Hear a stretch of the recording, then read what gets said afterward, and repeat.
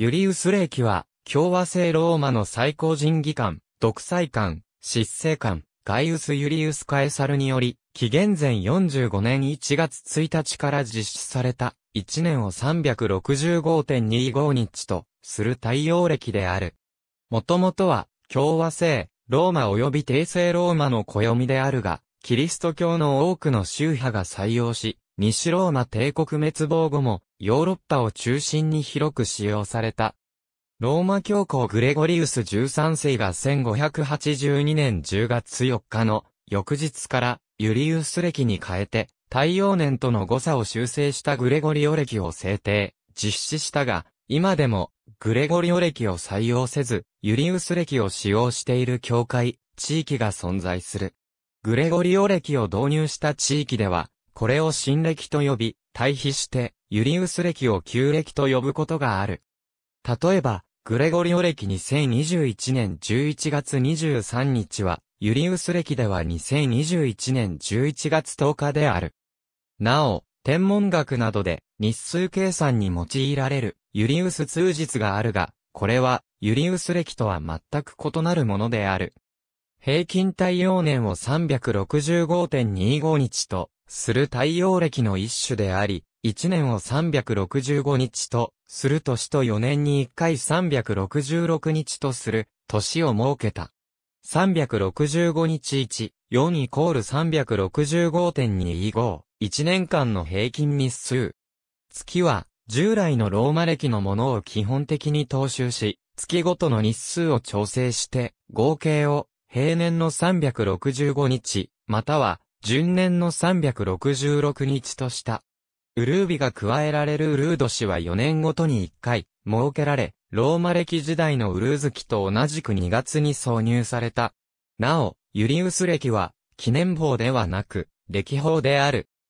ユリウス暦が採用されていた時代の記念簿には、4、5世紀頃、アレクサンドリアのキリスト教徒が用いた、ディオクレティアヌス起源を起源とする、それを6世紀のローマの神学者、ディオニュシウス・エクシグースが525年頃の著書、復活祭の書で、ローマ建国紀元754年をイエス・キリスト生誕元年とするキリスト紀元がある。キリスト紀元は10世紀頃に一部の国で使われ始め、西ヨーロッパで一般化したのは15世紀以降のことで、あるという。ユリウス暦におけるオケウル法の成立は、キリスト紀元の公安に先行するものであるが、順年は偶然にも、同紀元が4で割り切れる年と一致しており、グレゴリオ改暦の際にもこの法則が使われている。制定の経緯については、ローマ暦末期のローマ暦を参照のこと。ユリウス暦では、1年は365.25日イコール31557-600秒である。これに対して、実際の太陽年は、2015年時点で、31556,925.168秒、イコール約365.24289.44日で、ある。その差は、674.832秒イコール11分14.832である。86400秒、674.832秒イコール128.032であるから、約128年で1日のズレが、約1280年で10日ものズレが生ずることになる。カエサルの活躍した古代においては、格段に正確な暦ではあったが、このような時代的な限界もあった。ユリウス暦の制定後、約1500年が経過した1582年に、グレゴリオ暦への改暦が行われたのはこのためである。キリスト教の多くの宗派が同暦を宗教暦として採用してからは、キリスト教の各行事を行う期日を定める基準としても使われるようになった。ただし、イエス・キリストの処刑と復活の記事は、新約聖書において、退院太陽暦であるユダヤ暦に基づいて記述されているため、復活祭の期日は、太陽暦であるユリウス暦のみでは決定できず、季節と月齢の双方に合わせる作業が必要となった。第一次ニケア公会議は325年に、春分日であるユリウス暦3月21日の後の最初の満月の次の日曜日を復活の手術とするように定めた。このように規定した結果、ユリウス歴の誤差が、復活祭の記述制定に直接影響することになった。確かに4世紀には、ユリウス歴3月21日頃にあったと想定される実際の天文学的な春分比は16世紀後半になると10日も前のユリウス歴3月11日頃に到来するようになっていた。カトリック教会はこの事態を受けて3月21日を天文学的春分日にできる限り近づける歴法を制定して改暦することとなった。これがグレゴリオ暦である。1582年2月24日、グレゴリウス13世によって、グレゴリオ暦が発布され、ユリウス暦1582年10月4日、木曜日の翌日をもって、グレゴリオ暦、同年10月15日金曜日とし、以降グレゴリオ暦を実施することとした。しかし、改暦は、ローマ教皇の独断専行であって、ニケア公会議の決定に反するとして、西ヨーロッパでも、プロテスタント地域を中心に、グレゴリオ歴をすぐには採用しない地域が多くあった。それでも、天文学的優秀性から、プロテスタント地域でも徐々に広まっていき、最後まで残ったイギリスが1752年に採用したことで、西ヨーロッパのすべての地域が公式に、グレゴリオ歴を使用するようになった。さらに、正教会圏や他の宗教の地域でも、グレゴリオ歴が使われるようになっており、今でも、ユリウス歴を用いているのは、正教会の一部等となっている、紀元前45年に、カエサルがこの歴法を導入した際にウルード氏は4年に1回と決められたが、直後の紀元前44年に、カエサルが暗殺された後、誤って3年に1回ずつウルービが挿入された。この誤りを修正するため、ローマ皇帝アウグストゥスは、紀元前6年から紀元後7年までの13年間にわたって、3回分のウルード氏を停止した。紀元8年からは、正しく4年ごとにウルービを挿入している。紀元前45年から紀元8年までの間に、どの年にウルード氏が置かれていたのかについては、詳しい記録が残っておらず、何度か論議になった。紀元前45年から3年ごとという学者もいれば、紀元前44年から3年ごとという学者もいた。1999年に、ローマ歴とエジプト歴の両方の日付が記載された、紀元前24年当時の暦が発見され、それを元にした最新の説によると、紀元前45年から紀元16年までのウルード氏の置かれ方は次の通りである。紀元9年以降は以下の通り運用されている。平年の1年の長さを365日とし、これを12の月に分割する。各月の長さは1月から順に次の通り。西暦年が4で割り切れる年をウルード氏とし、その年は平年より1日、多い366日とするために、2月の日数を1日、増やして29日とする。2月は季節で言うと冬至を過ぎた頃になる。現代日本語では、各月は1月から12月の数字で表すことが多いが、古代ローマで使われていたローマ歴では、ローマ神話やラテン語の数詞に由来する固有名があり、ユリウス歴でも月の名前は、ローマ歴のものを踏襲した。紀元前44年から7月は、ユリウス・カエサルの名にちなんでジュリウスと呼ぶようになり、彼を継いだアウグストゥスが、ウルード氏の扱いを修正した際に、その名にちなんで8月は、オーガスタスとなった。その名称は、語形変化を被りながらも現代でも、英語、フランス語などのヨーロッパ諸言語にそのまま引き継がれている。なお、アウグストゥス以降も多くのローマ皇帝が月に自分の名を付けようとし、カリグラは9月を、ゲルマニクス、クラウディウスは3月を、クラウディウス、ネロは4月をネロニウス。トミティアヌスは10月をドミティアヌスと改名した。9月については、アントニヌスピウスがアントナイナスと改名したほか、タキトゥスがタキトゥスと改名した。11月は、ピウスの妻の名を取って、ファウスティナとなったりロマーヌスとなったりした。コンモドゥスに至っては月に、自分の名を付けるだけでなく、12の月全部の名を変更した。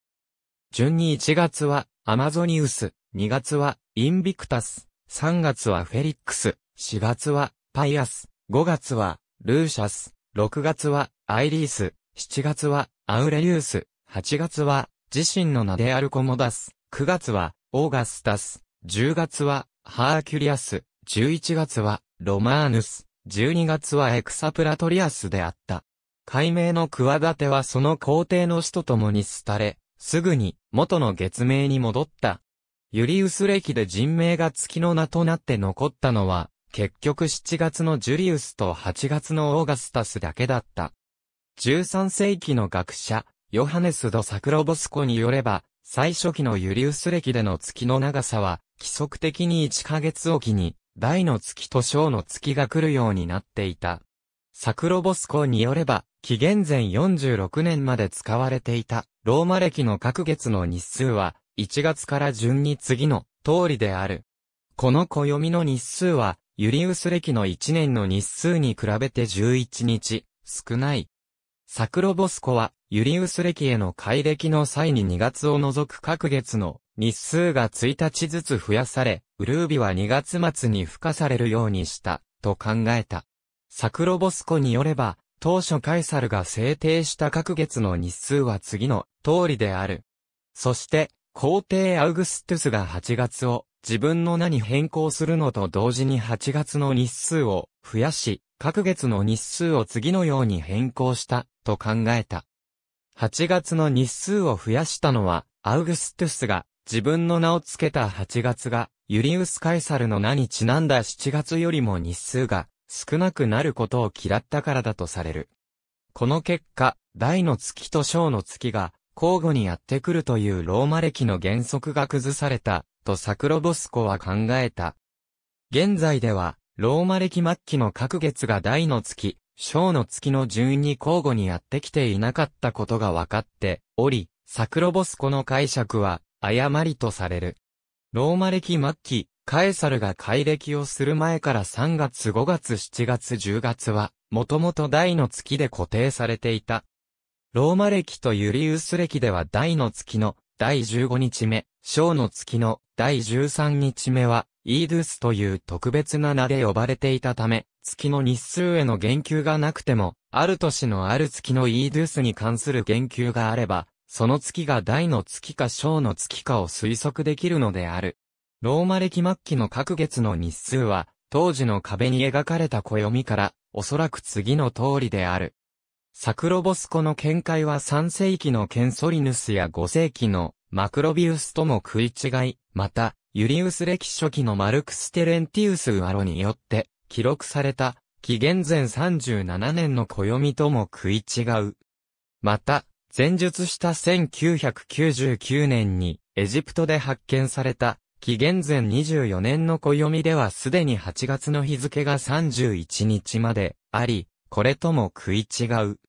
改暦直前のローマ暦は1月1日が新年、初日で、これはユリウス暦でも踏襲した。しかし、各地では、ユリウス暦の導入後もこれとは異なる日付を新年、初日とした。エジプトのコプト暦では8月29日に新年が始まる。いくつかの暦では、アウグストゥスの誕生日9月23日に新年を合わせた。ビザンチン歴は、インディクティオに由来して9月1日に始まる。中世のカレンダーは、ローマ人がしていたようにそれぞれ28から31日までの日を含む12の縦の列として1月から12月を表示し続けたため、すべての西ヨーロッパ諸国は1月1日を元日と呼び続けた。しかし、これらの国のうちのほとんどは12月25日3月25日、あるいは、フランスのように復活祭に新しい年を開始した。2、3のイタリア都市国家を除くほとんどの西ヨーロッパ諸国は、グレゴリオ歴を採用する以前のまだ、ユリウス歴を使っている間に、新しい年の最初の日を1月1日に移した。以下の表は、各国が新年として1月1日を採用した年を示す。現代の西方教会はグレゴリオ歴を使用している。例外として、東方教会に分類されるが、ローマ教皇の共同下にある東方天霊カトリック教会の中には、ユリウス暦を使い続けているものがある。正教会には現代でもユリウス暦を使用するものがある。ただしすべての正教会がユリウス暦を使用しているわけではなく、修正ユリウス暦と呼ばれる2800年まではグレゴリオ暦と同じ日付となる新暦を使用している教会もある。20.21世紀ではユリウス暦はグレゴリオ暦よりおおむね13日遅れとなるため、ユリウス暦を使用する教会では、日付で固定される祭日は13日遅れで祝われることになる。例えば高誕祭については、ユリウス暦の12月25日は20.21世紀では、おおむねグレゴリオ暦の1月7日に相当するため、グレゴリオ暦1月7日に12月25日のクリスマスが祝われる。ただし、復活大祭の計算のみは、フィンランド正教会とエストニア正教会を除いて、ユリウス暦で計算され、すべての正教会で祝日の統一が行われている。